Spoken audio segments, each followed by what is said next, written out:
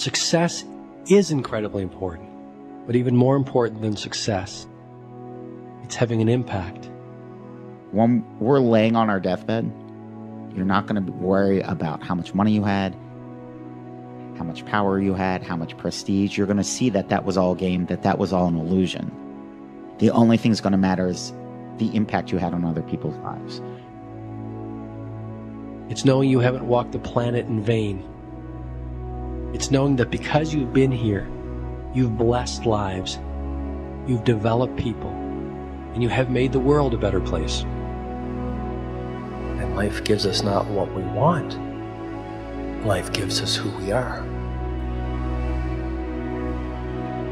Everything you gain in life will rot and fall apart, and all that will be left of you is what was in your heart. We are all on a separate journey.